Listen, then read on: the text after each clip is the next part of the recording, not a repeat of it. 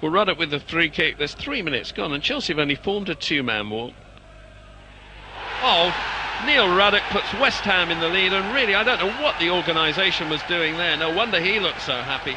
But Chelsea really do need to sort themselves out in defence on those set plays. Zola with the cross. Casiraghi.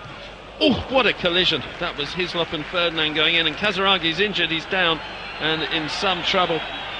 He's calling for Mike Banks to come on quickly. The referee stopped it, and Mike Banks steaming on. And Casiraghi went in there with Hislop and Ferdinand, and his knee just got caught underneath the goalkeeper.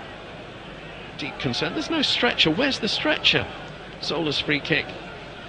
There's still no stretcher coming in.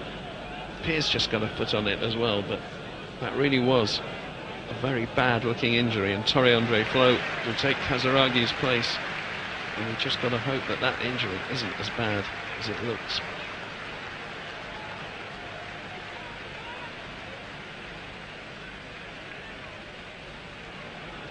Well, it's been all Chelsea pressure. 15 minutes left. Wise with the corner. Nicholls.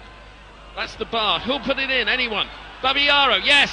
Babayaro equalises. That's his second goal of the season. And look at Poyet calling for the double somersault. Come on, Baba. Yes. One all then.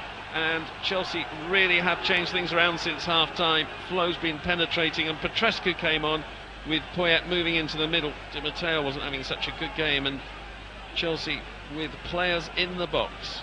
And Babayaro, the most crucial. 1 0.